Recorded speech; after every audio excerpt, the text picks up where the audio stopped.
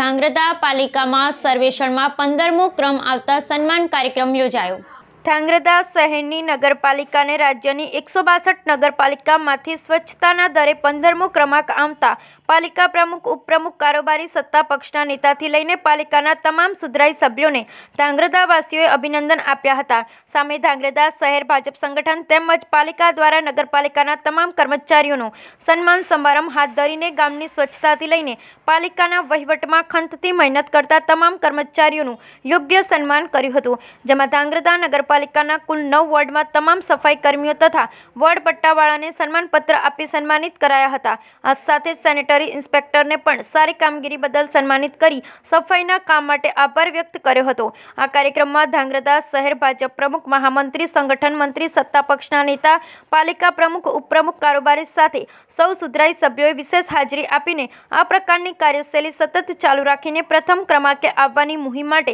એક નવું લક્ષ્ય સોંપ્યું હતું નગરપાલિકા દ્વારા રાખવામાં આવેલ સન્માન કાર્યક્રમનું સફળ સંચાલન કે એમ દોશી દ્વારા કરવામાં આવ્યું હતું. બ્યુરો રિપોર્ટ હિતેશ રાજપરા ધાંગ્રતા ગુજરાત સરકારમાં જ્યારે સ્વચ્છતાનું સર્વેક્ષણ ચાલતું હતું ત્યારે ધાંગધ્રા નગરપાલિકામાં જે એકસો બાસઠ નગરપાલિકાઓમાંથી પંદરમો રેન્ક આવતા જે સફાઈ કામદારો ખરેખર જેઓ પોતે નિષ્ઠાથી ધ્રાંગધ્રા નગરપાલિકાને આગળ લાવવાનો પ્રયત્ન કર્યા છે અને એમના પ્રયત્નોથી આજે જે નગરપાલિકા સ્વચ્છ સુંદર અને